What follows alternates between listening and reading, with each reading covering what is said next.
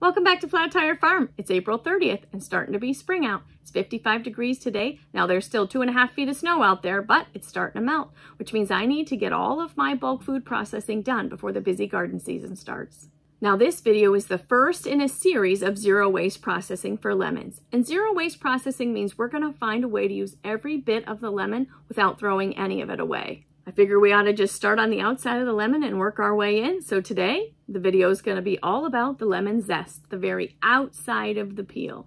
We're gonna make four quick and easy things with our lemon zest today. We're going to make a lemon salt, a lemon pepper, a lemon sugar, and some lemon extract.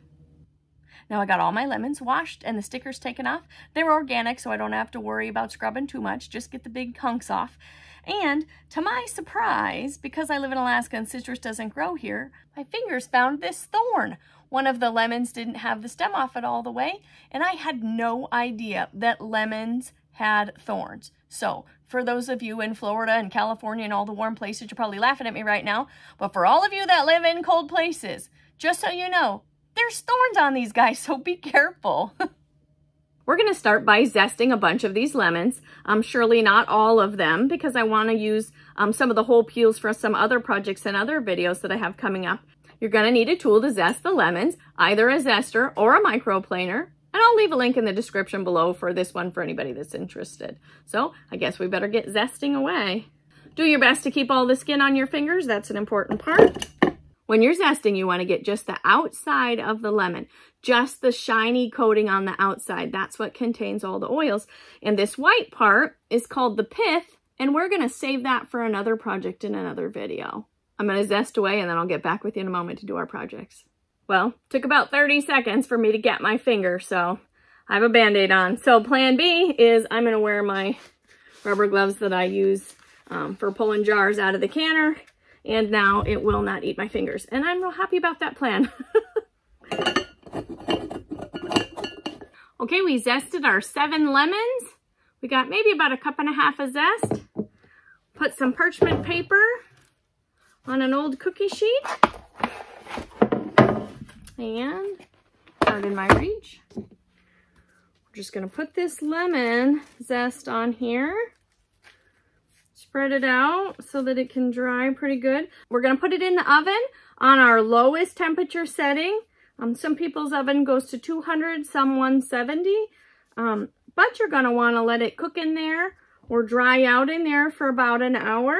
If the lowest that your oven goes is 200, you might want to crack the door a little bit, like stick a metal spatula in there or something, just so that um, it doesn't get too hot in there. You want the moisture to be able to evaporate. Now, we live off-grid, and so if the sun was out, I would put this in the food dehydrator. But the sun is not out, and so the best use of my resources and my energy is to put it in the oven because then it's only an hour, and mostly it's using um, just a tiny bit of propane. So, so that works best for me. So I'll put this in the oven for an hour, and I'll meet you back in a minute.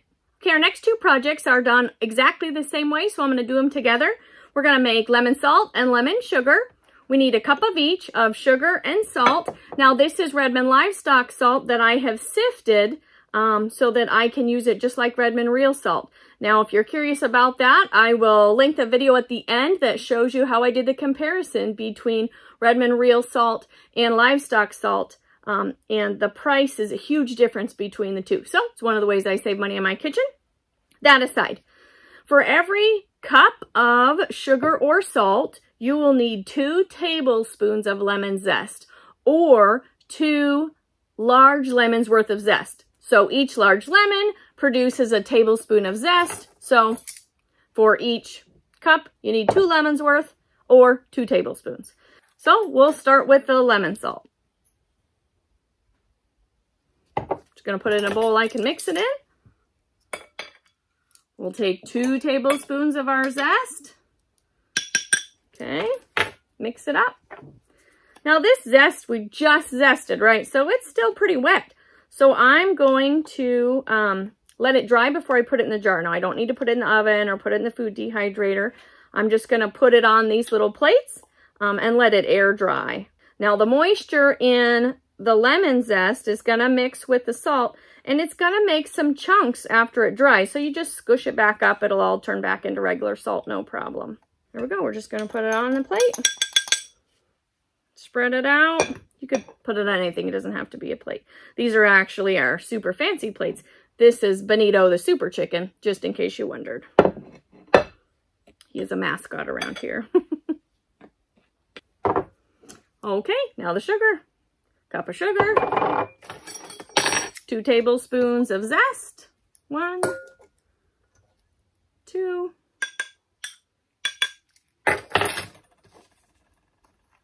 Mix it up just like we did the salt. Okay, we got our lemon sugar on the plate. Um, and what am I going to use these things for? I'm going to use the lemon sugar for baking cookies, like maybe sugar cookies or shortbread cookies. I might put it in biscotti. Also, I could use it if I wanted to sweeten my tea with it. That would be really delicious. Um, the lemon sugar or the lemon salt I'm going to use for things like seasoning chicken or seasoning fish, whatever I'm going to use lemon and salt in together. I now have a lemon salt that I can use. I'm going to let these dry. They're pretty moist right now. So I'm just going to let them sit out for the day and um, at the end of the day, I will smush them all up and make sure that they're all dry and that there's no clumps. And then I'll put them in half pint jars and stick them on the shelf and use them as I need to. Okay, we got one more project before we go back to tackle the lemon pepper. We're going to make lemon extract. It's very easy. It's very expensive in the store, but very easy to make. You just have to plan ahead a little bit. So I have a cup of just some junky old cheap vodka, okay? So whatever kind you can get cheap, that's the one you need. Okay, for every cup of vodka, I'm going to put ooh, three to four tablespoons of lemon zest in a jar. And the good news is I think we're going to use the rest of this bowl. And that'll be perfect. We didn't have anything left over. Okay, so that's about four um, tablespoons. We're going to pour in the vodka. Do, do, do. There you go.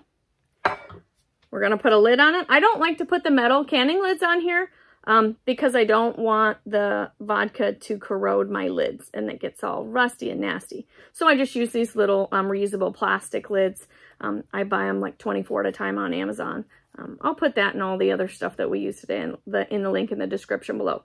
But we put it on there. We're going to put a label on there. Okay, you can use, I sometimes use a dry erase marker because I can wipe it off real quick or a piece of tape. Um, and it's going to be good in about a month. And it'll be good for six months to a year. Now, um, some extracts I've had, they're, I just keep using them. So as long as you're rotating a little bit, so you take a little bit out, you add a little more vodka. You take a little out, you add a little more vodka. This lemon's going to be good in here for a long time. Like I have vanilla beans that I use this same process. And I couldn't even tell you how many years old they are. Probably five or six. And I've never changed them out and still keeps making vanilla. You just use it, pour more, pour more vodka. Use it, pour more vodka. So, anyways, that's the easy extract. Our lemon zest is all nice and dried. I pulled it out of the oven after about an hour and 20 minutes. I stuck my hands in there every once in a while and kind of sifted it around. And then I just let it sit on the stove top um, and the warmth of the pan finished drying it. Now to finish off our lemon pepper recipe, we're to add a quarter cup of peppercorns to our little uh, spice grinder, which is really just an old coffee grinder. Grind that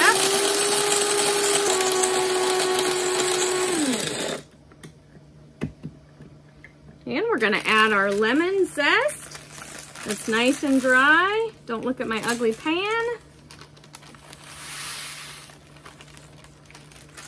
I'm just to add one tablespoon of salt to this usually when people make lemon pepper, they put three or four times that amount of salt in this size of a recipe, but I don't like to do that. I like to add the salt when I'm cooking if it needs it, um, because we don't use a lot of salt and I don't like to use a lot of salt. So we're just gonna put it all in the grinder, grind it up a little bit. That's gonna break down that lemon zest and then we're gonna have our lemon pepper.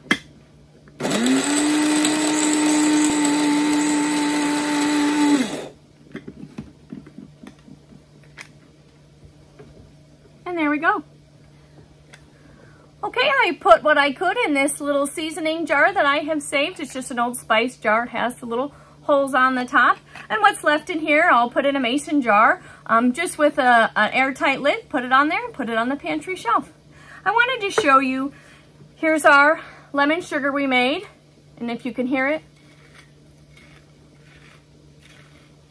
it's a little crunchy. So I'm just gonna break it up. It's still a little moist under there once it's all dry and you can't feel any more moisture in it. then it's ready to go in the jar. If you put it in the jar like this, you either have to keep it airtight and then it'll stay soft all the time like this, or if you put it in the jar wet and then it dries out in the jar, it's gonna be like a brick of sugar and you don't want that. Same for the salt. Now, as I'm sure you can imagine, the salt dried much quicker than does the sugar.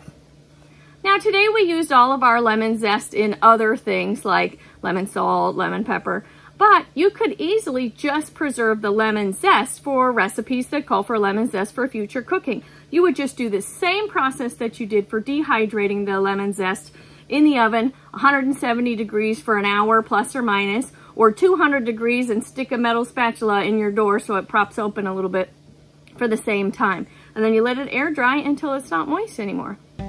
I'll leave links in the description below for the items that we used today. And also I'll do my best to link the playlist for the zero waste lemon processing at the end of this video. I'm hoping to get all the videos up at the same time. We'll see how much magic I have in me.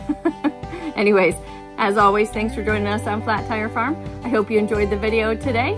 Stay tuned for lots more videos and you guys stay warm out there.